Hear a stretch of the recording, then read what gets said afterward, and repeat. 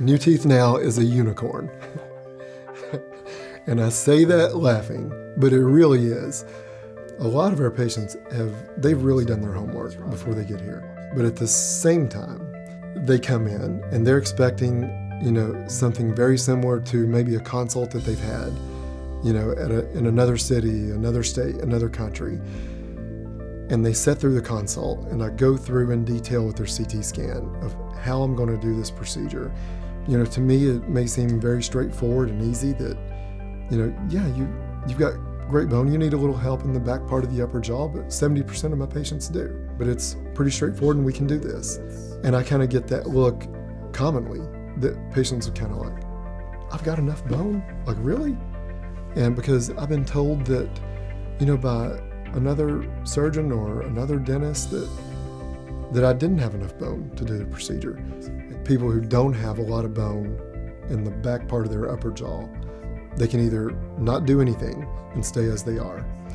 They can have sinus lift and bone graft, which may or may not work, or you can use a zygomatic implant.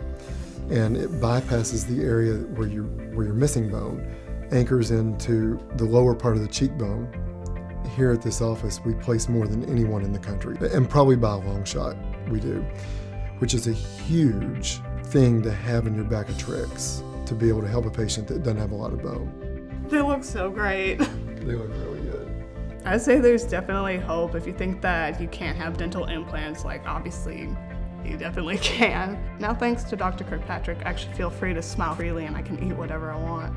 For a patient that is maybe very skeptical that they, they don't have enough bone because they've been told that in the past, they tell me that, well, you know, I've seen your commercial for years now, and you keep saying you've never met a patient that you, you know, that you couldn't put implants in in the upper jaw because of the zygomas. So tell me about that. And, you know, I'll go through the process with them. And I think when they hear that about the New Teeth Now procedure, a lot of them are taken back, but then they feel like, okay, I'm in the right place.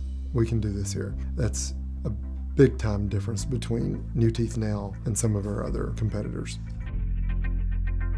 If you would like to view more informational videos on New Teeth Now, please click the subscribe button here. Thanks for watching.